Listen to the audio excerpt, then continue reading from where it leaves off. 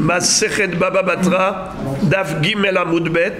On va commencer au milieu de la page, aux deux points. Amar Rav Hasda. Lo listor inish bekenishta adebane bekenishta ahariti. Ikade amre mishum pshiruta veikade amre mishum tsalouye. Mai benayhu ika benayhu deika ben kenishta ahariti. C'est-à-dire, on a parlé du Bet Amikdash et on va parler du Bet Knesset. Et c'est comme ça qu'on va arriver ensuite à nouveau à l'histoire du Bet Amikdash. Vous vous rappelez quand on a parlé de Amatraxine Amatraxine, c'est-à-dire la séparation qu'il y avait entre le Kodesh à Kodashim et le Hechal ce qu'on appelle Kodesh et Kodesh HaKodashim. Dans le Kodesh HaKodashim, il y avait l'arche sainte avec l'étape de la loi dedans. Tandis que dans le Hechal, on avait la menorah, le Shulchan et le Mizbeach HaZahav. Ce qui séparait le Saint des Saints du Hechal, eh bien, c'était un rideau, un double rideau dans le deuxième Beth Amikdash parochet. Alors que dans le premier Beth Amikdash construit par Shlomo HaMelech, c'était une séparation par un mur qui mesurait 30 coudées de hauteur, 15 mètres. Alors, la Gemara était rentrée dans ce Inyan par rapport à la largeur du mur. On a dit que pour construire un mur de séparation entre deux colocataires, euh, copropriétaires, qui avaient chacun sa villa, qui donnait sur une cour commune, mais lorsqu'ils ont décidé de se séparer, alors ils peuvent obliger l'un l'autre à participer aux frais de la construction du mur de séparation. Ce mur, quelle est sa hauteur? La hauteur du mur, c'est 4 coudées, Arba Amot. Quelle est sa largeur? Alors, on a dit que si c'était avec des avenées gazites, des pierres de taille, c'était 5 tfahim de largeur. Nachon, merci beaucoup. 5 tfahim de largeur. Question Ça, c'est a priori la proportion entre la largeur et la hauteur. Ça veut dire que pour un mur, pour qu'un mur tienne, faut pas qu'il soit trop haut. Car si la hauteur est disproportionnée par rapport à la largeur, eh bien le mur peut basculer. Comment on fait pour qu'il ne bascule pas? Alors il faut respecter une proportion entre l'épaisseur du mur et sa hauteur. Alors on a vu que la hauteur de 4 coudées d'un mur requiert et nécessite une épaisseur au moins de 5 tfahim. C'était l'épaisseur du mur de Gazit, Gazit Hamishat Tfahim. Dans un mur de 4 coudées de hauteur, vous savez combien de tfahim il y a dans une coudée? 6 tfahim. Donc, il y a combien de coudées dans 4 amot Combien de tfahim, pardon, dans 4 coudées? 4 fois 6, 24. Alors on a 5 tfahim de large pour 24 fahim de haut. Et pourtant, dans le Bet Amikdash, on avait 30 coudées de hauteur au niveau du mur et il n'y avait que 6 tfahim de largeur puisqu'on l'appelle Amatraxine. Amatraxine, on avait vu que la traduction du mot traxine, Ama c'est une coudée, pourquoi on l'appelait traxine car ce mur de séparation, il était torek, c'est-à-dire fermé, sin, sinaï, l'étape de la loi qu'on a reçue au pied du mont Sinaï. Trak, sin, il ferme le Sinaï. C'était donc ce mur-là.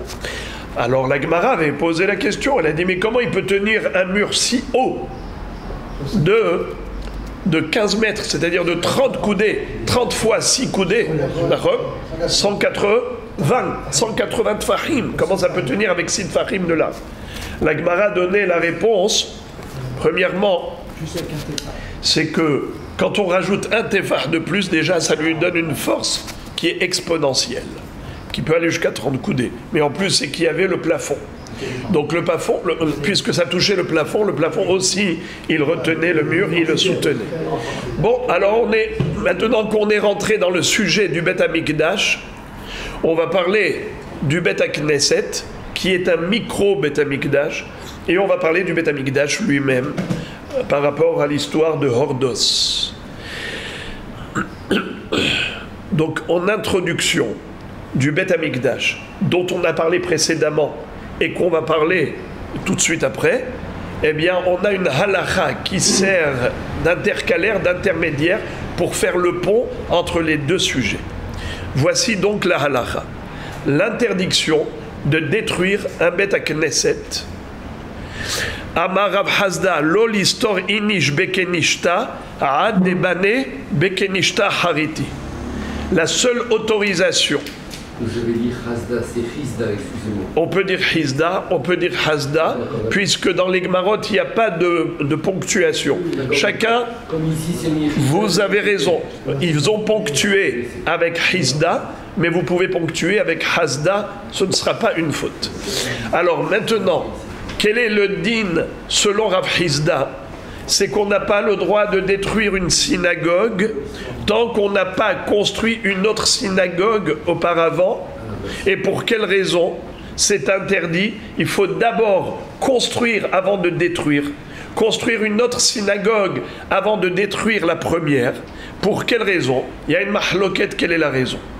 Ika de Amre, certains disent Mishum Pshi'uta, car nous craignons la Pshi'a, c'est-à-dire la faute nous craignons que, après avoir détruit, il ne va pas reconstruire. Il pensait reconstruire, mais c'est un projet qui n'a pas abouti. Résultat des courses, la synagogue a été détruite. Il n'y a pas eu de reconstruction. Alors qu'est-ce qu'il faut faire? Tu parles de projet, de, de, de reconstruction. Construis d'abord et après tu détruis.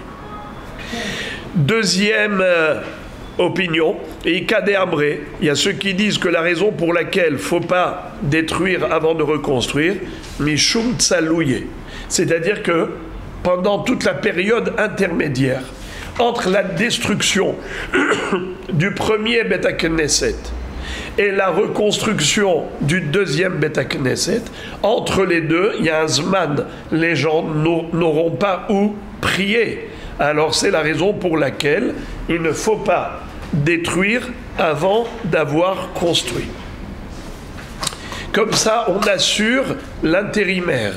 Il n'y a pas de période durant laquelle les gens n'auront pas où prier. Ils auront toujours où prier. Comment on dit prier en araméen Tsalouye. Tzlota. Titkabel tselotana ou. Ouais. Eh bien, en, arabe, en judéo-arabe, cela, c'est la, c'est la synagogue, le lieu de prière. Ou, bien Baba Sali, Baba Sali, le père qui prie. Ou bien, par exemple, aussi, je dirais que même en yiddish, la choule, choule, si on met soul, cela, c'est le, c'est le lieu de prière. Donc on retrouve un petit peu Tsalouye. Ok. Vous savez que comment Yaakov, Yaakov Avinu avait dit que la ville de Shechem, il avait conquise Beharbi ou Bekashti, avec mon épée et mon arc. Comment traduit Targum Kelos ces deux mots, mon épée et mon arc? Il dit Bitzloti ou Bevaruti avec mes prières et mes supplications. C'est comme ça que mes enfants, Shimon et Lévi, ont réussi à remporter cette victoire écrasante sur les habitants de Shechem, c'était le fruit de la prière de Yaakov Avinu. Il les assistait par sa prière. Et Rabotai, si seulement notre peuple était conscient de cela, que les soldats au front de guerre réussissent grâce à Dieu par la prière de ceux qui prient, parce qu'il y a Yaakov Avinu qui prie derrière Shimon et Lévi. Bitzloti ou Bebaroti, ou Bekashti. Il n'y a pas de différence. l'arme, Herev, l'épée, Keshet, l'arc, toutes ces armes fonctionnent en faveur d'Israël lorsqu'il y a derrière Yaakov Avinu qui prie, qui étudie. Donc il y a une complémentarité entre l'arme spirituelle et l'arme matérielle. Et chez nous, un peuple qui vit de manière surnaturelle, notre arme matérielle ne peut fonctionner que si elle est accompagnée de l'arme spirituelle. Elle est flammatée Elef Lamaté. Il y avait mille soldats guerriers et il y avait mille Talmidei Hachamim qui allaient au front de guerre pour étudier et prier là-bas. C'est cela la complémentarité d'une vraie armée. Comme il y a l'armée de terre, il y a l'armée de l'air, il y a la marine. Eh bien, c'est complémentaire. On ne critique pas l'un l'autre. Mais pourquoi tu viens pas ici à l'armée de l'air? Pourquoi tu restes dans la marine? Mais Hacham, c'est ça la complémentarité. Alors on y va les amis. Amar les Ravina. Alors excusez-moi. Marimar ou Morzoutra. Satre Ubanu Bekaita Besidva Ubanu Besidva Bekaita. À l'époque, ils avaient des synagogues pour l'hiver et des synagogues pour l'été. Pourquoi? Car en été, les gens ont chaud. Ils ont besoin d'une synagogue où il y a un courant d'air. En hiver, les gens ont froid. Ils ont besoin d'une synagogue où la chaleur est concentrée.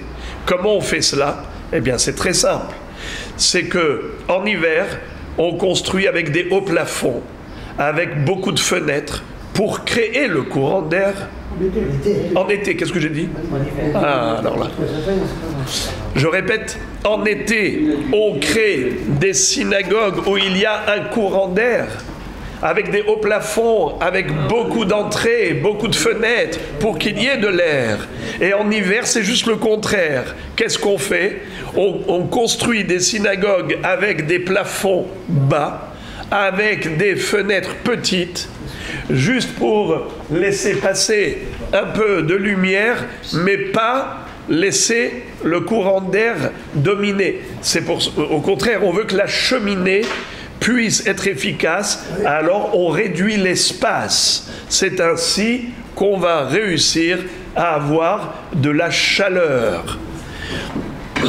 Alors, Rabotaille, maintenant, vous avez compris, qu'est-ce qu'ils ont fait Ils ont détruit la maison d'hiver en été, c'est-à-dire la synagogue d'hiver, ils l'ont détruite en été pour la reconstruire en été afin qu'elle soit prête pour l'hiver. Quel est le problème? C'est quoi le risque? C'est quoi le risque? Qu'il manque un lieu de prière en attendant Mais non, ils vont prier dans l'autre synagogue. Parce qu'ils avaient deux synagogues, une pour l'hiver, une pour l'été. Alors quand il fallait parfois rénover la synagogue d'hiver parce que l'hiver qui est passé fait un carnage avec les pluies, n'est-ce pas? Il y a eu beaucoup de dégâts causés par les pluies et par les bourrasques. Alors il fallait raser la synagogue d'hiver pour la reconstruire en été. Ce n'est pas un problème. Quel est le problème? Les gens n'ont pas où prier, mais pas du tout, ils vont prier dans la synagogue d'été. Et vice-versa pour la synagogue d'été. Ils allaient la détruire et la reconstruire en hiver pour la préparer à l'été. Il n'y a pas de problème, les gens ont où, prier. C'était que les constructions, ce n'était pas comme aujourd'hui avec, avec des pierres très solides. C'était des tuiles, c'était des briques, avec de l'argile. Et donc, euh, ouais, en effet, c'était pas de la construction toujours très solide. Donc automatiquement, il fallait rénover en permanence. Et maintenant, la Gemara pose une très belle question. Amar les Rabbi na les Rav Ashi. ou Mahate.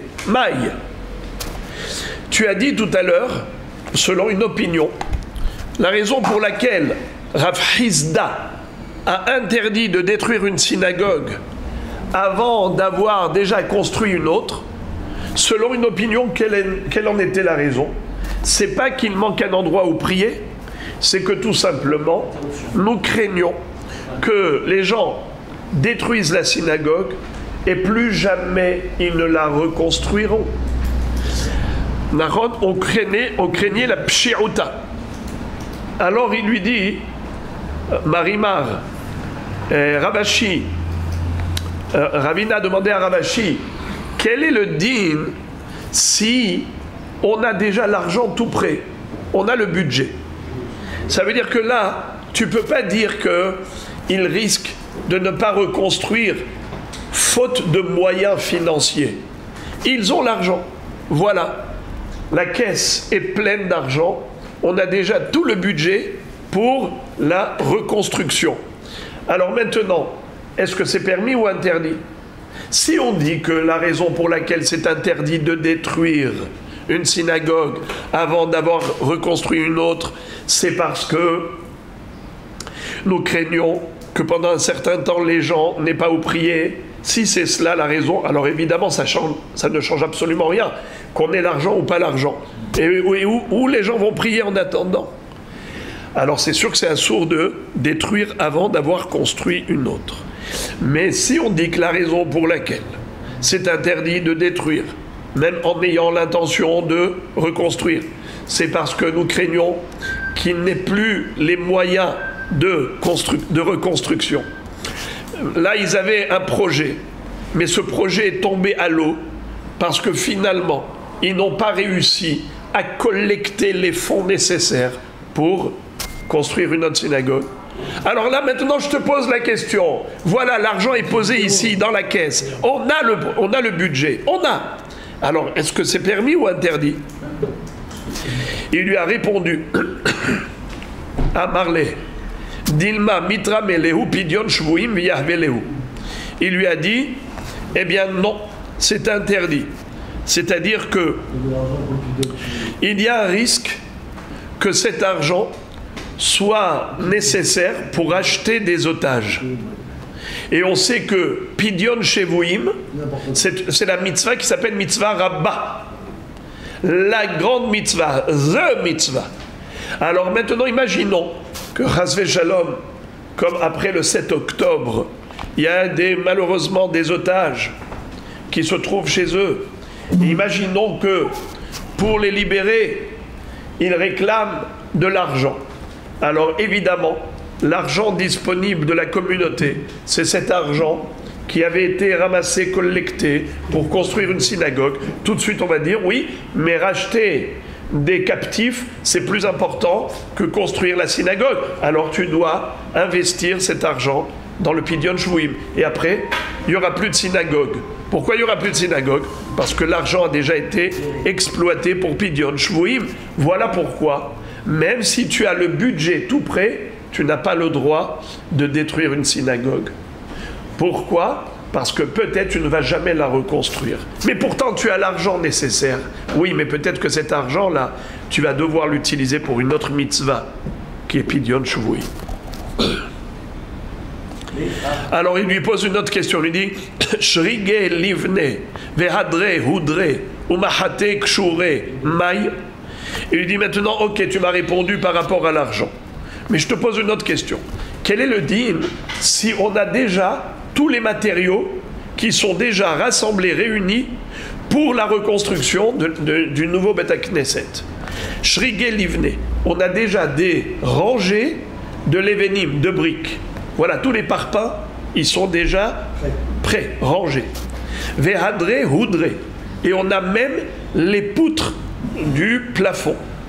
Vous savez comment ils faisaient à l'époque le plafond? Avec des poutres, et après ils mettaient du ciment dessus. Et on a même les poutres du binyan, c'est-à-dire les poteaux pour construire les murs, tout est prêt. Alors, on a, on a les, briques, on a les, poutres, on a les, planches, on a tout ce qu'il faut. Alors ça y est, il n'y a aucun risque. Est-ce qu'on peut détruire? Il lui a dit non.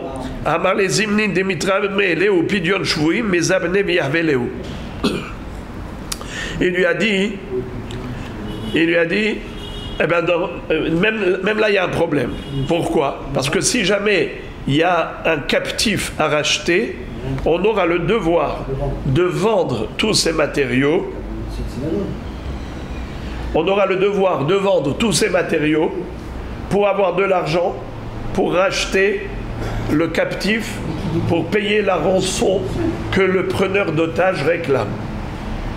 Alors la Gemara dit, c'est la raison pour laquelle, même si tu as déjà tout prêt, tous les matériaux, tu n'as pas le droit de détruire une synagogue parce que tu risques de ne jamais la reconstruire, car si jamais il y a un pidyon shvuim qui se présente, tu vas avoir le devoir de tout vendre pour le racheter à ce captif. La Gemara dit, si c'est comme ça, nami, alors même s'ils ont carrément construit une deuxième synagogue, tu vas dire, tu n'as pas le droit de détruire la première synagogue. Pourquoi? Parce que imaginons qu'il y ait un otage qui a été pris en captivité et le preneur d'otage, il réclame beaucoup d'argent. Et on est obligé de vendre la synagogue, la nouvelle, pour avoir l'argent pour pouvoir le racheter. Et donc, euh, alors là aussi, tu vas dire, interdit de détruire la première synagogue. Pourquoi? Parce que peut-être tu vas devoir vendre la deuxième synagogue que tu as déjà reconstruite. Parce que peut-être tu vas devoir vendre la nouvelle. Alors ne détruis pas l'ancienne. Eh bien, il n'y a pas de fin. Dans ce cas-là, il n'y a pas de fin. Et c'est pas ce que tu as dit. Tu as dit que tant que tu n'as pas reconstruit la nouvelle, tu n'as pas le droit de détruire la première. Sous-entendu que si tu as déjà reconstruit la nouvelle, eh bien tu peux détruire l'ancienne. Mais non, tu devrais interdire de, de, détruire l'ancienne, car peut-être tu vas devoir vendre la nouvelle si à chaque fois tu penses aux, aux, aux aux otages. Alors, il lui a dit non. Amarle dirate de Qu'est-ce que ça veut dire? Il dit un homme ne vend pas sa maison pour acheter des otages. À plus forte raison qu'ils ne vendront pas le Beta Knesset pour acheter un otage.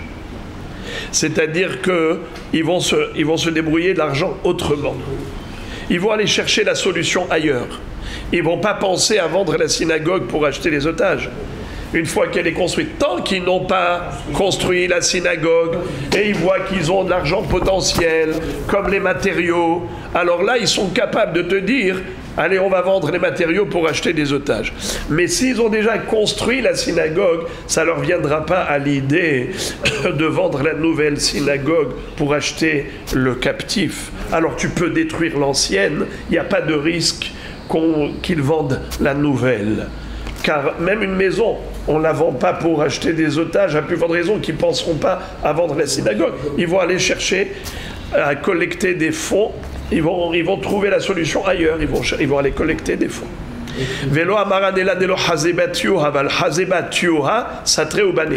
Cette restriction de ne jamais détruire une synagogue avant d'avoir reconstruit une autre, cette restriction, elle n'a lieu que dans la mesure où il n'y a pas de danger. Mais si on voit que les murs de la synagogue sont branlants et qu'il y a un problème sécuritaire, hasve les gens au milieu de la prière, les murs peuvent tomber dessus, alors évidemment, il ne faut pas attendre la catastrophe. Il faut tout de suite raser la, la vieille synagogue pour reconstruire à sa place. Tu n'as pas besoin d'abord de construire une autre avant de rénover celle-là. Tu dois tout de suite détruire ce qui est dangereux, même si on n'a pas d'autre synagogue à la place. Comme un jour, Rav Ashi l'avait vu dans la ville de Matam Hassia. Il a vu que la synagogue là-bas commençait à devenir dangereuse, car les murs étaient fissurés de partout. Satré, il a détruit immédiatement il a rasé,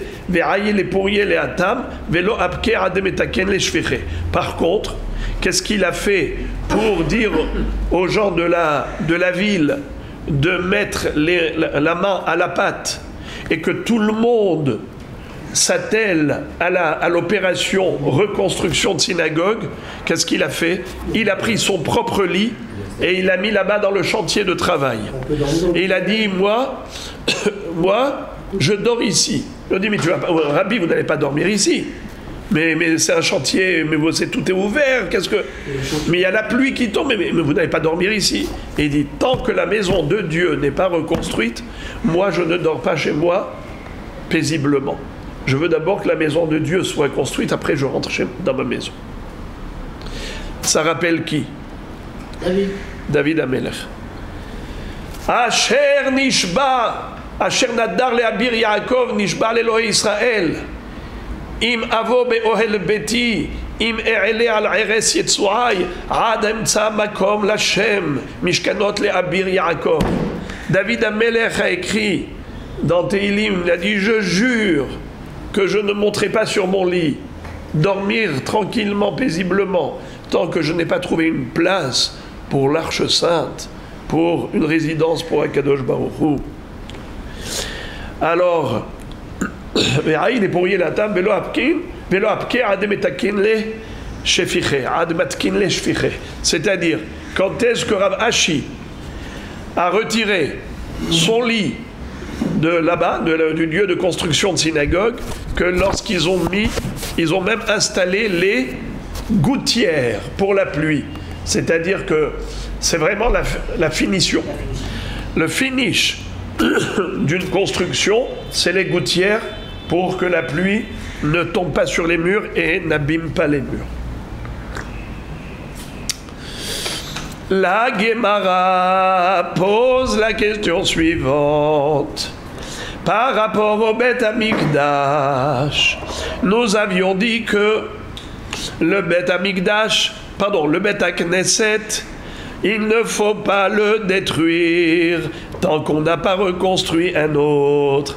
Alors à plus forte raison, le Beth Amikdash, comment se fait-il que Baba Ben Bouta a donné le conseil au roi Hérode de raser le Beth Amikdash, de le détruire pour le reconstruire?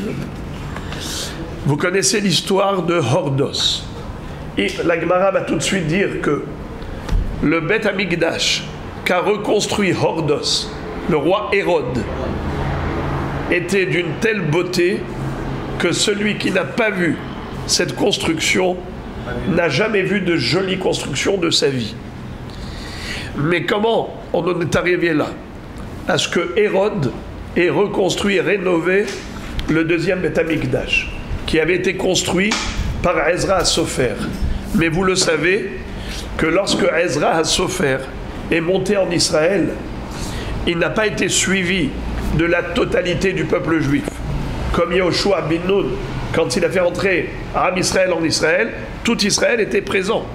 Ezra Sofer a eu la frustration de voir que à peine 42 000 juifs et quelques sont venus avec lui. Eh bien, quand ils sont arrivés avec l'autorisation de reconstruire le deuxième Beth Amikdash, c'était une autorisation qu'ils ont obtenue par le roi perse qui s'appelait Cyrus Koresh. Lorsque Koresh, que la Gemara appelle dans Rosh Hashanah d'Avdalet, Melech Kacher Haya, il a donné l'autorisation au Ram Israël de remonter en Israël et de reconstruire le Beth Amikdash et même d'offrir des sacrifices pour la faveur et le bonheur du roi, pour sa longévité, sa santé, à lui, à son fils, les Haye Hamelech ou Benoi. En tout cas, ils étaient pauvres. Ils sont arrivés et ils ont construit le Beth Amikdash dans des conditions euh, lamentables, parce que il y avait les ennemis d'Israël qui venaient les embêter, les attaquer. Alors il fallait qu'il y ait des gens qui soient là pour la garde, d'autres pour, la construction. La nuit, il fallait surveiller, et ce n'était pas du tout évident. Et ils n'avaient pas de gros moyens financiers. D'ailleurs, plus tard, il y avait un, roi qui va s'appeler Yanaï Hamelech, qui est descendant des Hashmonaïm, qui était très riche. Et lui, il a dit nos ancêtres mangeaient des herbes, euh, des petites herbes. C'est ça ce qu'ils mangeaient parce qu'ils n'avaient pas de quoi manger. C'est-à-dire des salades, des salades vertes. Et nous, on est riches. Dieu nous a offert tellement d'opulence et de largesse. On va faire des repas pour remercier Akadosh et ainsi de suite. Bon, il y a eu des histoires avec lui qui étaient terribles, avec justement, après cette histoire, on va pas dévier trop du sujet. Je dévie déjà assez. Alors, en effet, Ezra Sofer a construit une Beth Amikdash avec Nehemia ben Hachalia, avec Zerubbabel, mais ce n'était pas quelque chose de très majestueux. Hérode l'a rasé à cette construction pour reconstruire quelque chose d'extrêmement beau. Mais qui a donné ce conseil à Hérode? Et qui était-il? D'où il arrive? C'est qui ce Hérode-là? Alors la Gemara maintenant va nous raconter toute l'histoire. Regardez. Mais elle commence d'entrée de jeu à poser une question. Si on dit qu'on n'a pas le droit de détruire une synagogue, à plus forte raison qu'on n'a pas le droit de détruire le Beth Amikdash. Alors comment Baba Ben Bouta, qui était un si grand hacham, a donné le conseil à Hérode de détruire le Beth Amikdash pour le reconstruire? Ou Baba Ben Bouta, Hechi asvele le le le. Lo l'histoire inish bekenishta, adebane bekenishta harita. Pourtant, Rafrizda nous a dit que même pour une synagogue, on n'a pas le droit de détruire une synagogue tant qu'on n'a pas reconstruit une autre. Alors, comment est-ce que lui, il s'est autorisé de conseiller Hordos en lui disant de raser le Beth Amikdash pour le renouveler, le rénover? Alors la Gemara donne deux réponses. Iba tua. On peut dire que Baba Ben Bouta a constaté que dans le deuxième Beth Amikdash, il y avait une tioha, il y avait des fissures, les murs étaient branlants, donc menacés de tomber. Il a dit plutôt qu'il y ait un drame, Hasve une tragédie qui tombe sur des gens, alors vaut mieux donner le conseil à Hérode de le raser pour le reconstruire. Deuxième réponse. Malchuta de lo adrabe de amar shemuel malchuta akar nature akar velo adarbe. En fait, ici, ça n'a pas de rapport. De qui on parle? D'un roi. Lorsque le royaume prend quelque chose en main, il va jusqu'au bout du projet. Si le roi lui-même décide de raser le Beth Amikdash pour reconstruire un nouveau à la place, c'est sûr qu'il va le faire.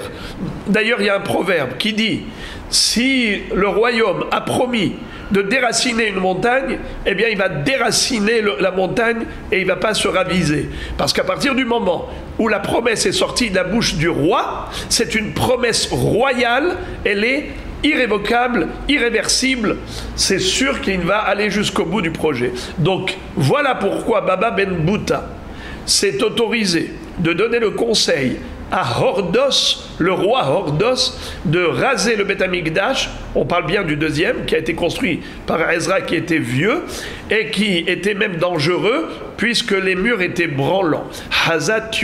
Il avait qui avait une faille, Tiuha, une défaillance.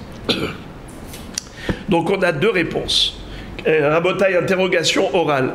Quelles sont les deux réponses? Pourquoi est-ce que Baba Ben Bouta s'est autorisé de donner un conseil à Hérode de raser le Betamikdash, de reconstruire. Pourtant, même pour une synagogue, on n'a pas le droit? Première réponse, c'est parce que il a vu qu'il y avait une tioha. Non, la première réponse, tioha, il y avait une faille, c'était dangereux, tout simplement. Quand c'est dangereux, eh bien on a le droit. Même pour une synagogue, il y a une faille, il y a un danger, eh bien on rase. On n'a pas besoin de construire une autre synagogue d'abord. Non, c'est dangereux, tu rases et tu reconstruis à la place. Ça, c'est la première réponse.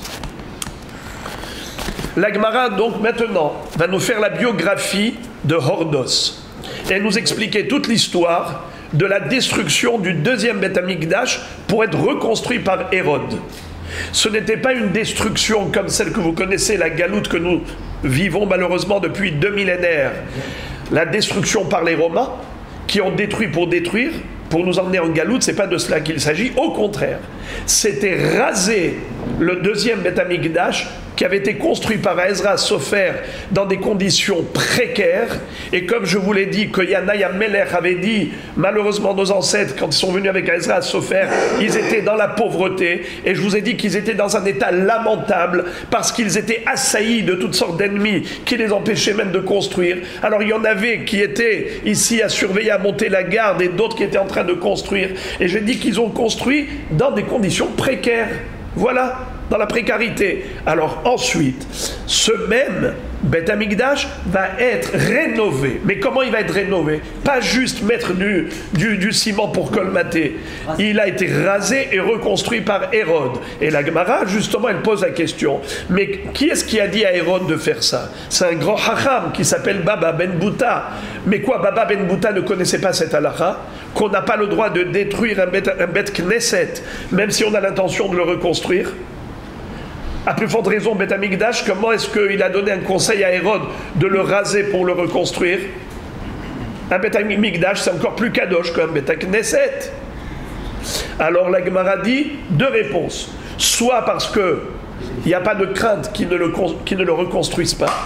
C'est sûr qu'après rasage, après l'avoir rasé, il va reconstruire, c'est sûr, parce que c'est un roi. Un roi n'a pas manque de moyens financiers.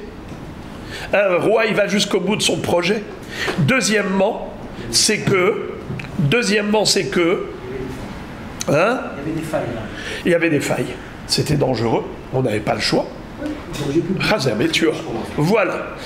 On a terminé la question halachique, réponse halachique, mais maintenant, tout cela, on ne le comprend pas parce qu'on nous parle de Hérode, c'est quoi, c'est quand, c'est qui? Eh bien, les hâtes, les hâtes, on va étudier l'histoire. Hordos Ravda Debet Hashmonai Hava. Hérode était un esclave cananéen qui était soumis, acheté par l'un des Hashmonaïm. Les Hashmonaïm, vous le savez, ils avaient pris les rênes du pouvoir. Eux, ils étaient des Kohanim, les Hashmonaïm, Bime Matatiaou ben Yohanan Kohen Gadol Hashmonaïm Banav. Or, la Malchut, elle appartient à qui Au Shevet Yehuda, comme David Ameler. Qu'est-ce qui s'est passé après la victoire des Hashmonaïm sur les Yevanim? Eh bien, ils ont dit, puisque nous, on a restauré le Beth Amikdash, on a évacué les Yevanim, on a ramené la Torah au peuple juif, c'est plus important que ce soit nous qui prenions les rênes de la royauté, car au travers du pouvoir royal qui sera le nôtre, on aura plus d'influence positive sur le peuple pour faire du peuple juif un peuple de serviteurs de Dieu. Car si les Hashmonaïm qui sont des tzadikim, ce sont eux les rois, alors on aura un peuple qui vivra dans une ambiance de Kedusha, de Torah. Malheureusement, ça ne leur a pas porté bonheur car comme dit le Ramban Nachmanid dans Parashat Vayechi, Avru al Ato shel Zaken. Ils ont transgressé le testament de Yaakov Avinu. Yaakov Avinu a dit la royauté appartient à Yehuda, à personne d'autre. Lo yasur shevet mi Yehuda ou mehokek mi ben raglav. Ça c'est ce qu'a dit David, euh, Yaakov Avinu dans Parashat Vayechi étant donné que les Hashmonaïm, qui étaient du Shevet Lévi, puisque les Kohanim, ce sont des Lévi'im, se sont appropriés la Malchut, ils ont transgressé ce qui est écrit dans la Torah, le Yassur Shevet Mihuda. Ils auraient dû rendre le sceptre royal à un descendant de David Ameler et non pas accaparer le trône royal. Qu'est-ce qui s'est passé? Akadosh Baruch les a sanctionnés, les a punis ils se sont tous fait assassiner par Ordos, leur serviteur. Cet esclave a entendu une voix céleste qui a dit Le serviteur, l'esclave, qui va maintenant se révolter contre ses maîtres, il va réussir. En fait, c'était un message divin envoyé à Ordos pour punir qui? Les descendants des Hashmonaïm. On n'est pas dans la génération de Matatiaou, Ben Yohanan Kohen Gadol Hashmonaï ou Banav, on parle maintenant des descendants. Il y avait après Horkanos, Aristoblos, il y avait toutes sortes de descendants. Yanaya Meller, tout cela c'était des descendants des Hashmonaï. Lui, Hérode, a entendu cette voix, il a dit j'y vais. Et en pleine nuit, il va et il dégaine, il commence à tuer tous ceux qui étaient en plein sommeil, tous les maîtres. Il a laissé une survivante, Myriam, une petite jeune fille très belle, descendante de Hashmonaïm, c'est la seule qu'il a gardée pour l'épouser, pour dire je suis euh, assimilé à la famille royale. Je fais partie de la dynastie royale des Hashmonaïm. Et elle va se suicider. Elle va se jeter par la fenêtre parce qu'elle a compris qu'il voulait la prendre comme épouse. Et elle va dire, en proclamant haut et fort, tout celui qui se prétend être Hashmonaï, de la descendance des Hashmonaïm, Avdahu. Sachez que ce n'est pas vrai. Les Hashmonaïm, il n'y en a plus. Je suis la dernière. C'est forcément un descendant de ce Hérode, qui lui est un Evet Kenaani. Alors tout celui qui dira qu'il est descendant de Hashmonaïm, ne le croyez pas. Avdahu, c'est un Evet Kenaani, c'est un descendant de ce Hérode-là qui est Evet Kenaani à l'origine. Et il va donc ensuite tuer tous les Hachamim. Pourquoi il va tuer tous les Hachamim? Parce que lorsqu'il s'est installé sur le trône royal et qu'il a pris la royauté des Hashmonaïm, il a dit Je sais que d'après la loi de la Torah, je ne suis pas digne de royauté. Parce qu'il est écrit dans la Torah Som tassim melech, mikerev tassim alecha melech. Mais qui est-ce qui dit que Mikerev Achecha Tassim Alechem Melech, ça doit être un de tes frères, c'est-à-dire quelqu'un qui est de père et de mère juif Il faut que son père soit juif. Qui est-ce qui a dit ça Que c'est ça la traduction de ce pasouk. C'est les Hachamim. Les Hachamim, ce sont eux qui retransmettre l'interprétation de la Torah oralement, la Torah orale pour la Torah écrite, pour interpréter la Torah écrite. Ce que je vais faire, je vais tuer tous les hachamim.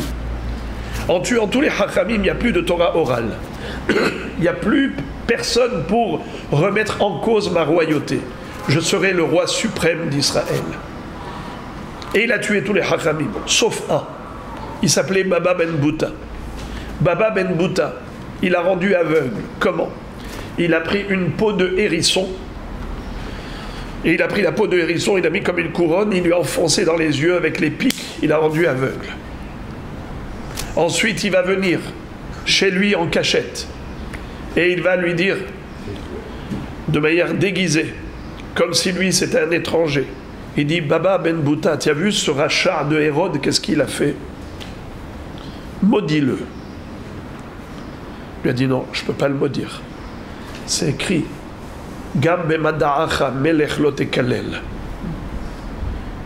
Il lui dit, mais cet homme-là, regarde tout le mal qu'il a fait. Alors, il faut absolument que, au moins, c'est pas, pas un melech, c'est pas un melech. Lui-même, il s'est autoproclamé roi. C'est pas un vrai roi. Il lui a dit, d'accord, mais il sera au moins Nassi. Loyehe et la Nassi. Et à propos du Nassi, c'est écrit Benassi be'amecha lotaor. Il ne faut pas dire Arour pour le Nassi. C'est un homme important, je ne peux pas le maudire. Lui a dit, c'est écrit Benassi be'amecha be'osema amcha. Si c'est quelqu'un qui est scrupuleux en matière de mitzvot, mais lui c'est un rachat, il ne fait pas les mitzvot, maudis-le. Il lui a dit, je ne peux pas. Dans la suite de ce verset, il est écrit Be'of ha'shamaim yolich et. Ou Baal Yagid Davar. Il lui a dit On est tout seul entre nous. Personne ne va le savoir. Maudis-le Il lui a dit Les, les murs ont des oreilles. Les oiseaux vont porter les rumeurs. C'est-à-dire que même ce qu'on dit entre nous secrètement, peut y avoir une oreille qui nous écoute. On n'est jamais à l'abri des colporteurs. Je ne peux pas maudire ce roi. Il lui dit, tu sais qui je suis? Qui suis-je? C'est moi, Hordos. Et si je savais que les Hachamim avaient un tel respect pour le roi, jamais je ne les aurais tués. Maintenant que j'ai fait ça, que j'ai tué tous les hachamim d'Israël, que puis-je faire pour me racheter auprès d'Hachem? Je voudrais faire quelque chose pour expier ma faute. Il lui a dit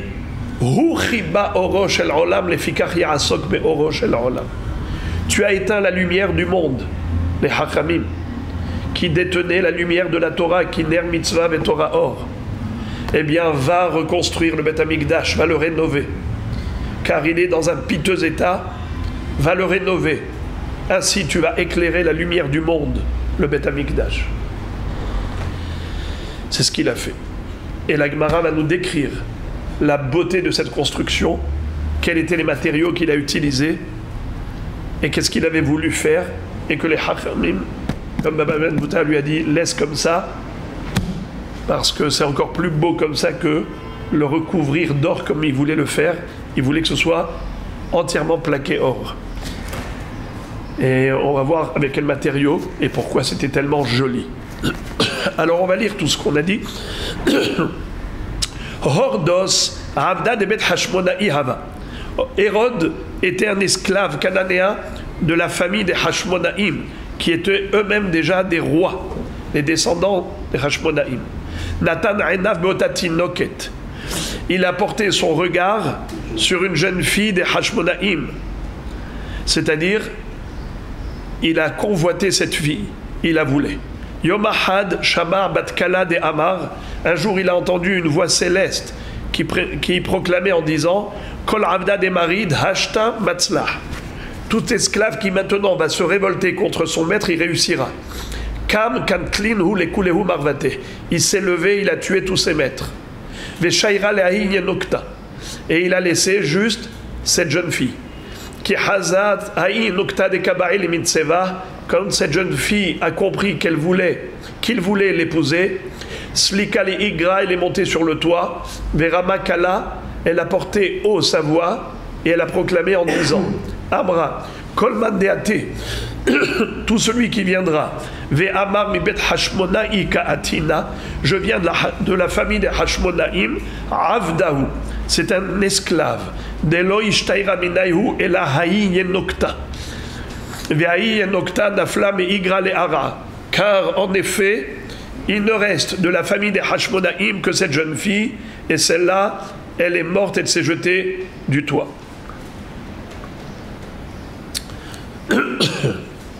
Qu'est-ce qu'a fait ce rachat de Hordos? Tamna Sheva Shanim Beduvsha. Il a enseveli, il a plongé le corps de cette jeune fille pendant sept ans dans du miel. Car le miel est un produit conservateur. Et kaderbré ba'aléa, et.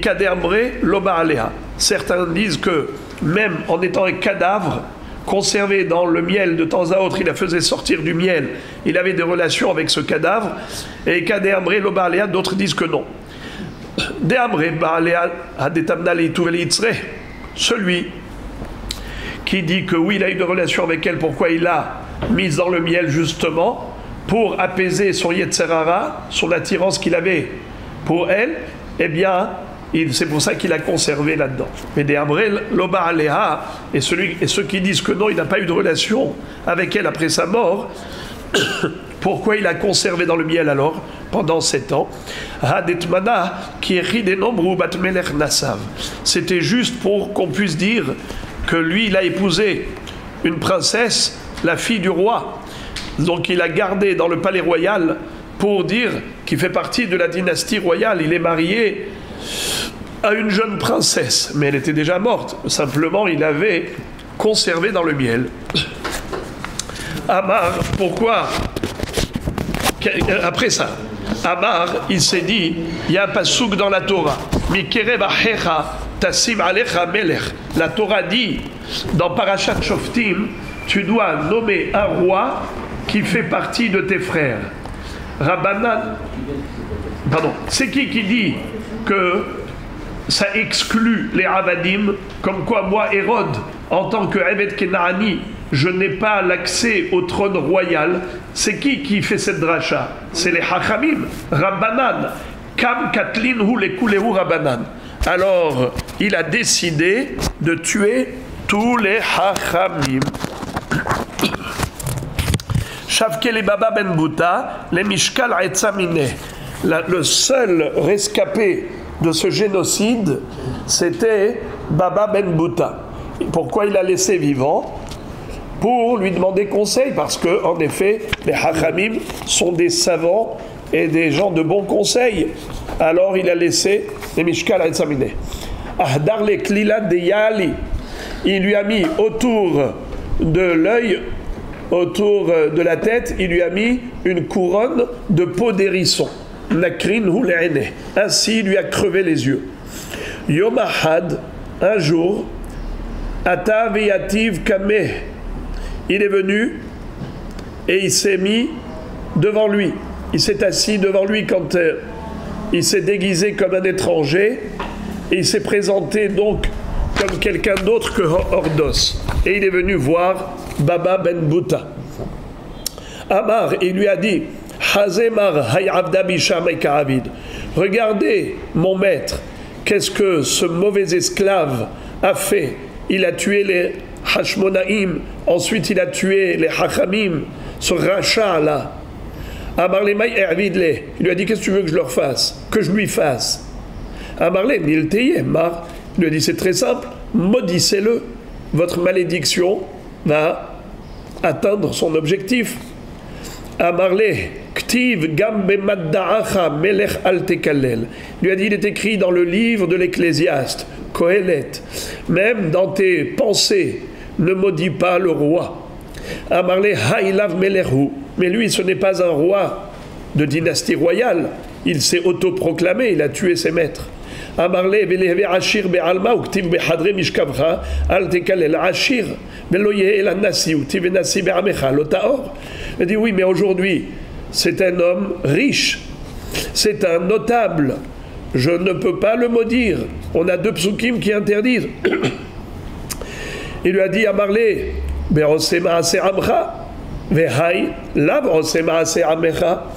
a dit, c'est écrit. Ne maudis pas le nasi qui est au sein de ton peuple. Pourquoi la Torah elle a écrit au sein de ton peuple? Pour dire qu'il agit positivement, comme le peuple juif. Mais lui n'agit pas positivement comme le peuple juif. Au contraire, c'est un rachat, maudis-le. Il lui a dit, j'ai peur de lui. Amarle likainish des asiles des limale. Il lui a dit, il n'y a personne avec nous pour aller le lui raconter.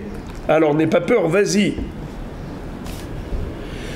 Des Anna et Atiativna, il n'y a que nous deux qui sommes assis ensemble. Amarle Ktiv, qui off Shamaim Yolich et Akol ou Baal Kenafaim Yagidavar. Il lui a dit oui, mais il y a un pasouk dans Kohelet qui dit que même l'oiseau va aller porter ta voix. Le porteur d'aile va dire ce que tu as dit. Alors je n'ai pas du tout envie de, dire des choses, des malédictions qui risquent de parvenir aux oreilles de Hordos. Je ne vais pas le maudire. Amarle Anahu. Il lui a dit, eh bien, sache-le, que ce fameux Hérode, c'est moi-même.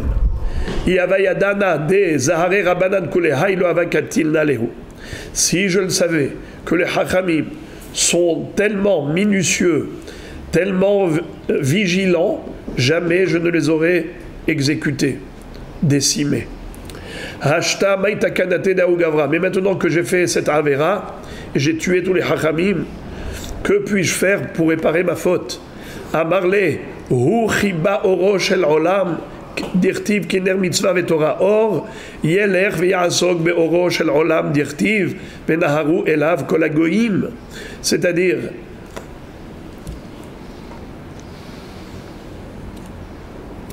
tu as éteint la lumière de la Torah, Kiner Mitzvah et Torah Or, celle qui était enseignée par les Hachamim.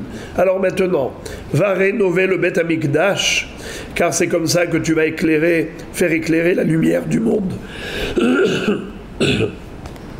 Comme il est dit qu'à la fin des temps, tous les peuples vont aller vers le Bet Amikdash pour être éclairés par sa lumière. Kimitzion Udvar Hashem. Ika. Selon certains, voici comment il lui a répondu. Olam. Toi, tu as crevé l'œil du monde. C'est-à-dire, les Hachamim s'appellent l'œil du monde. Dirti. Vous voyez bien comment les Hachamim sont qualifiés dans la Torah? Les yeux de la communauté juive. C'est qui les yeux d'Israël? C'est les Hachamim. Tu as, tu as tué les Hachamim, tu as crevé les yeux d'Israël. Vas-y, rendre la vue à l'œil du monde. C'est qui qui s'appelle l'œil du monde? Bet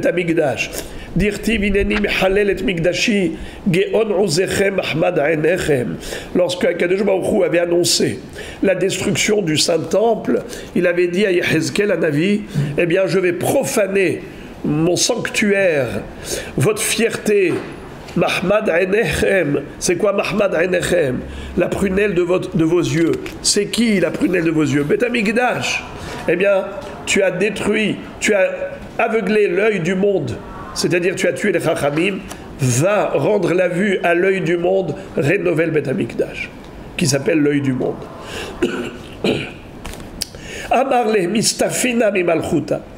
Il lui a dit, mais tu le sais très bien que nous sommes sous la domination des Romains. J'ai peur que les Romains me tuent, viennent m'attaquer parce que j'ai rénové le Bet Amikdash. Les Romains, ils ne sont pas pour la rénovation du Bet Amikdash. Amarle shadar shliha, velizil shata, veliakav shata, velihdar shata, ade achi satrit le le, avadachi. Il lui a dit, si tu veux que je te donne un conseil comment le faire, malgré les Romains, regarde ce que tu vas faire. Envoie un émissaire pour leur demander l'autorisation de rénover le Beth. L'émissaire, il va voyager pendant un an et qu'il reste là-bas pendant un an et qu'il revienne ensuite, ça mettra un an. En tout, ça fait trois ans. Toi, en attendant, qu'est-ce que tu vas faire? Tu vas, le, tu vas le raser et le reconstruire. Trois ans, c'est amplement suffisant pour toi de le raser et de le reconstruire. Quand l'émissaire a été envoyé par Hérode, vous savez qu'est-ce qui s'est passé? Il est revenu après trois ans. Qu'est-ce qu'il a fait Ordos? Il avait déjà reconstruit. Qu'est- Qu'est-ce qui était écrit dans le courrier que les Romains ont envoyé à Ordos par le biais de l'émissaire, vous savez qu'est-ce qu'il avait écrit? Incroyable. Ils ont écrit comme ça. Im lo satarta altistor, ve im satarta altivne. Si tu ne l'as pas encore rasé, ne le rase pas. Si tu l'as déjà rasé, ne le reconstruis pas. Et ve im satarta ubanita, et si jamais tu l'as déjà rasé, tu l'as reconstruit, avde bisha, batar de avdin mitmallechin. Les mauvais esclaves, une fois qu'ils ont fait, c'est là qu'ils demandent l'autorisation. Im zainach alach, sifrach kan. Lorecha, velo barecha, hordos avda, kelania mitaved. C'est-à-dire que tu saches que peut-être tu es orgueilleux parce que tu as tué tes maîtres, les Hashmonaïm. Mais sache que chez nous, dans nos archives, ici à Rome, il est écrit dans nos archives que Hordos, c'est un esclave, Klani Amitravid, que lui-même, il s'est libéré de ses maîtres, Lorecha velo Barecha. Tu es ni roi et ni fils de roi. Tu n'es pas un reich. Tu n'es pas un roi et ni fils de reich. Tu n'es pas fils de roi. L'Agmara dit Maïrecha. Qu'est-ce que ça veut dire le mot recha? Malchuta. Ça veut dire un roi. Dirtiv Anochi Ayom Rach Mashuach Melech. Comme David Amelech avait dit Je suis Rach Mashuach Melech, roi pour devenir roi. Veiba Itima Meacha. Vaikreu Lefanav Avrech. De qui il a été dit qu'il s'appelle Avrech? Hein, le père du roi, c'est qui qui a été qualifié de Avrech? Bravo. Yosef Hatzadik, on l'a appelé Av les paro. Qui samani Elohim Av les paro. Avrech.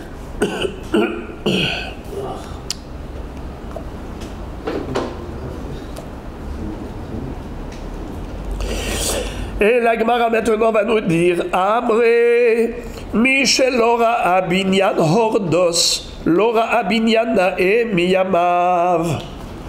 Celui qui n'a pas vu le Binyan Betamikdash qui avait été rénové, reconstruit par Hérode, n'a jamais vu de beau bâtiment de sa vie. Bemaï comment l'a-t-il construit? Avec quels matériaux Amaraba, Be'avne Shaisha ou Marmera. Il a utilisé des pierres de marbre. Alors ici, Shaïch, c'est du marbre vert, c'est du granit. Au Marmera, c'est du marbre blanc. Et. Il y a ceux qui disent qu'il y avait trois couleurs du marbre bleu, du marbre vert et du marbre blanc. Apik Shafa, Shafa. C'est-à-dire que il y avait là-bas, c'était en dégradé. En dégradé. Pourquoi? Parce qu'il avait l'intention de mettre du cide. Et comme c'est très haut, pour pas que ce soit trop lourd, avec les couches de chaud et de plat, alors il a fait en dégradé de manière à ce qu'il y ait toujours sur quoi reposer, sur quoi tenir. Savar les Midhava. Et ensuite, il avait pensé le plaquer or, le peindre et le recouvrir avec des plaques d'or. Rabanan Shavke, des Achi Mehzeke Idvata de Yama. Les Hachamim lui ont dit non, non, non, laisse-le comme ça. Ne mets ni de la chaux ni de l'or. C'est encore plus joli comme ça. Pourquoi? Parce que ça a l'air d'être des vagues de la mer. Quand vous voyez, quand on approche le mont du temple et on levait les yeux et on avançait et ce dégradé de couleur donnait l'impression d'avoir des vagues de la mer comme ça. C'était hyper joli. Ces trois couleurs de marbre. Et la Gemara ouvre une parenthèse après qu'elle ait fait la biographie de Hérode et qu'elle nous a expliqué qu'est-ce qui s'est passé avec le deuxième Beth qui avait été détruit et reconstruit par Hérode, alors que la première fois il a été construit par Ezra Sofer, le deuxième Beth Il y avait le Beth qui avait été construit par Shlomo Amelech, il a été détruit par Nebuchadnezzar. On était 70 ans en Galout Bavel. Ensuite, après Galout Bavel, Nebuchadnezzar qui a détruit Beth son fils Evil Merodach, son, petit-fils Belshazzar. Et après ça, Koresh qui a donné le droit à Ezra Sofer de reconstruire Beth mais qui n'était pas super beau, n'était pas très majestueux, mais qui a été ensuite rénové par Hérode, et là il était majestueux. C'est comme ça qu'il s'est rattrapé. C'est comme ça qu'il a fait une mitzvah de rattrapage pour la, faute grave qu'il a commise doublement. Il avait tué d'abord les Hashmonaïm, les descendants de Hashmonaïm, et ensuite il a tué tous les Chachamim.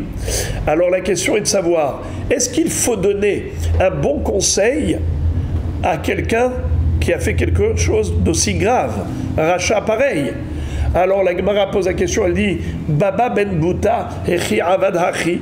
Comment se fait-il qu'il lui a donné un bon conseil de rénover le Beth Amikdash Ve'amar Rabbi Yuda Amarav, ve'tema Rabbi Yoshua ben Levi, mipnema ne'enash Daniel, mipene she'esi etza le Nebuchadnezzar. Hachamim disent que pourquoi Daniel a été puni? Et on verra quelle va être la punition de Daniel c'est parce qu'il avait donné un bon conseil à Nebuchadnezzar. De là, on apprend qu'il ne faut pas donner de bons conseils à un rachat.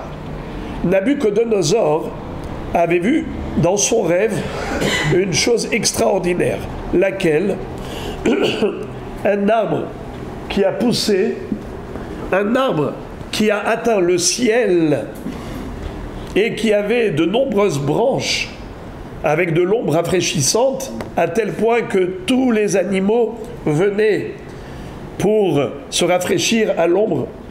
Et il y avait des fruits. Tout le monde venait prendre de ces fruits, se délecter de ces fruits. Et cet arbre, on pouvait le voir d'un bout du monde à l'autre. Et il atteignait le ciel. Et voilà qu'un ange arrive et dit Déracinez cet arbre, coupez-le, pas le déraciner, coupez le tronc, coupez le tronc de l'arbre. faut plus qu'il y ait ici d'arbre. Vous laissez à peine la petite racine, à ras de terre. Et qu'est-ce qui s'est passé? C'est ce qui, en effet, tout a disparu. Alors, Nebuchadnezzar se réveille, il a très peur, il appelle tous les interprètes, tous les magiciens, tous les sorciers de son royaume. Personne n'a été capable de lui apporter une interprétation satisfaisante. Alors il a dit maintenant, je m'adresse à Daniel. Daniel, il a nommé même Belshazzar. Vous savez pourquoi il a appelé Belshazzar? C'était le nom de son idole, à Nabucodonosor. Mais il vénérait tellement Daniel qu'il il lui a donné le nom de son idole. Il lui a dit, toi, je sais que tu es inspiré par l'esprit divin. Toi, tu sauras interpréter ce rêve. Alors, dans le livre de Daniel, c'est écrit, va eshtomem hada. Pendant quelques secondes, Daniel était saisi de peur, de frayeur, jusqu'à ce que Akadosh tout de suite lui a donné l'inspiration. Et il lui dit, cet arbre, c'est vous, Sa Majesté. Sa Majesté le roi, c'est vous, cet arbre qui a grandi jusqu'au ciel et qui est vu du monde entier. Et tout le monde vous est soumis. C'est vous qui, gouvernez la planète Terre. Et tout le monde profite grâce à vous. Vous donnez à qui vous voulez, ce que vous voulez, vous faites ce que vous voulez. Vous avez plein pouvoir. Mais maintenant que vous avez détruit le Betamikdash et que vous avez eu autant d'orgueil, sachez que maintenant, Akadosh Baruchou va vous retirer ce pouvoir pendant sept ans. Vous allez devenir une bête. Plus personne ne va vous reconnaître parce que vous allez avoir un look d'animal vous allez vivre avec les animaux tout en sachant que vous êtes un être humain. Vous allez souffrir terriblement parce que les animaux vont faire de vous ce qu'ils veulent. Et ce n'est que sept ans plus tard que Akadosh vous ramènera à votre poste sur le trône royal. Il a eu une peur épouvantable. Il a été terrorisé par cette interprétation. Mais Daniel, va donner un conseil à Nabucodonosor. Et il va lui dire, mais, mais Sa Majesté le roi, vous voulez savoir comment vous pouvez expier votre faute? Eh bien, Vehata'ach bitzdaka perok va'aviatach Eh bien, c'est très simple.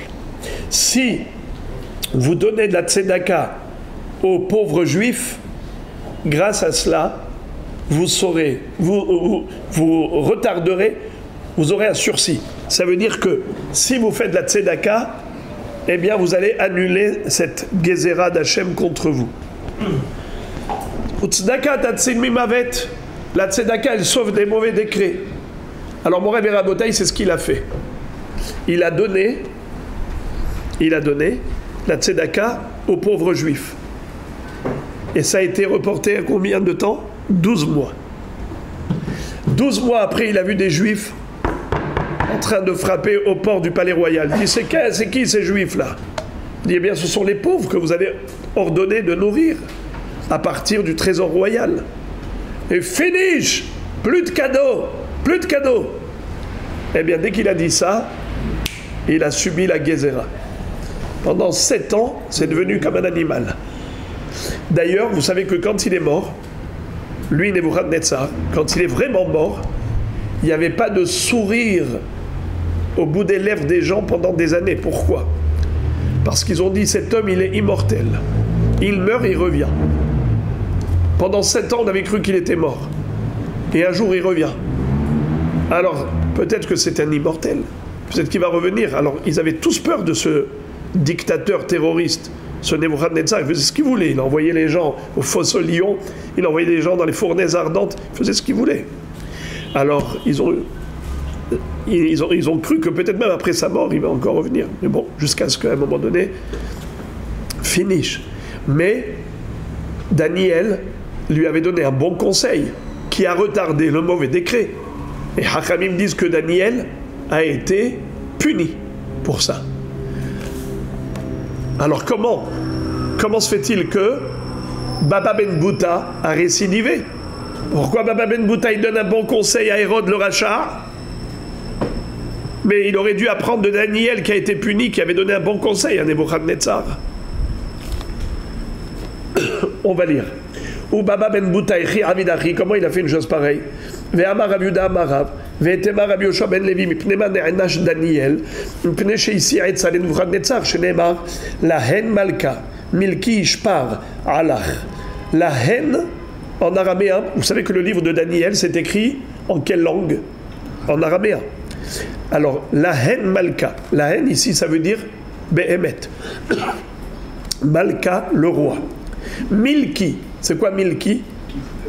Milchi Non, c'est le conseil, mon conseil, les Imalech.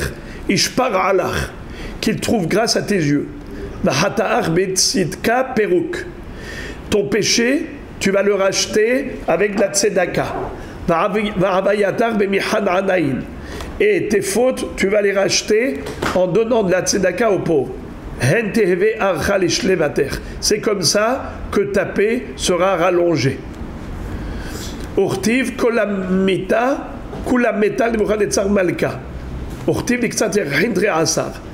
Il est écrit que Nabucodonosor a subi le mauvais décret 12 mois plus tard. Après 12 mois. Alors la Gemara dit Nabucodonosor, si euh, Daniel ne devait pas le conseiller positivement, et il a été puni pour cela, pourquoi? Euh, Baba Ben Bouta l'a fait Réponse. Deux réponses.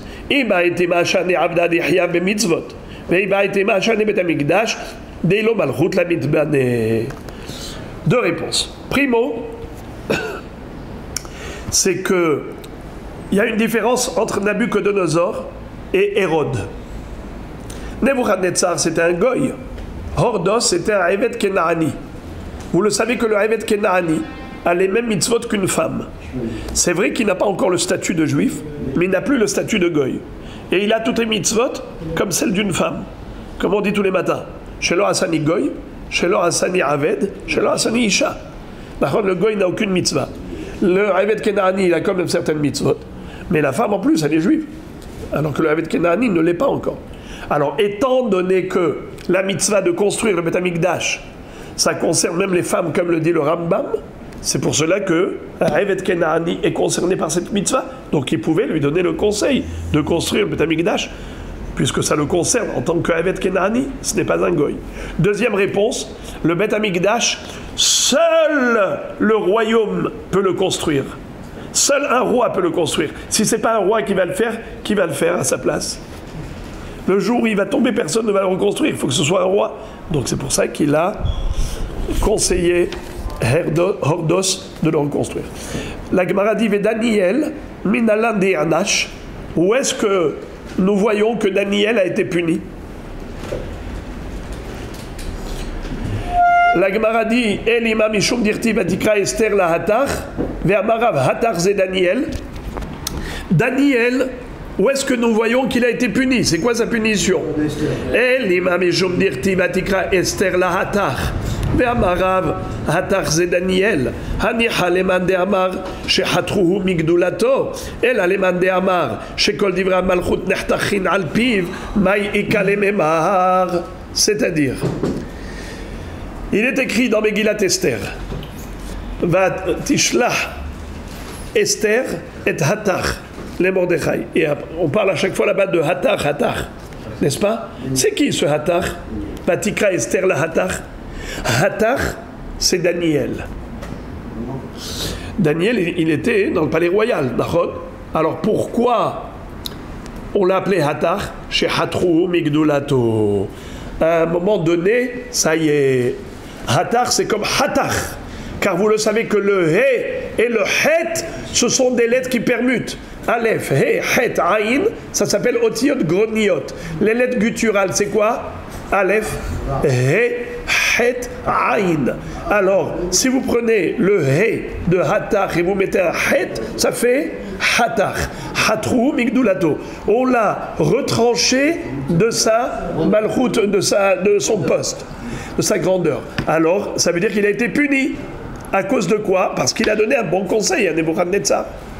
Mais celui qui dit que non, Hatach, il s'appelle Hatach, parce que Kol divrei Malchut Nehtachin Alpiv, au contraire, il était tellement proche du roi que tout ce qu'il demandait au roi, c'était immédiatement appliqué, exécuté. Alors au contraire, Hatach, c'est Hatach, Kol divrei Malchut, c'est pas euh, c'est pas péjoratif. Au contraire, c'était quelque chose de positif. Alors, quelle était la punition de Daniel? Et là, des chadiou, les gouba d'Erievata. Il a été jeté dans la fosse aux lions. Alors, la peur qu'il a eue des lions, c'est vrai que les lions se sont mis à terre après. Mais au début, quand on l'a jeté dans la fosse aux lions, il a tremblé. Je crois qu'on lui a fait un S. Cette peur-là, c'était une punition parce qu'il a donné un bon conseil à Nebuchadnezzar. Et pourquoi il a donné un bon conseil? Vous savez pourquoi il a donné un bon conseil? Parce que Daniel avait de la peine pour les pauvres, pour les pauvres juifs. Il s'est dit, il vaut mieux que moi, j'ai une punition, mais au moins que mes frères juifs ne souffrent pas de la pauvreté. Alors, c'est pour cela qu'il a été sauvé quand même des lions.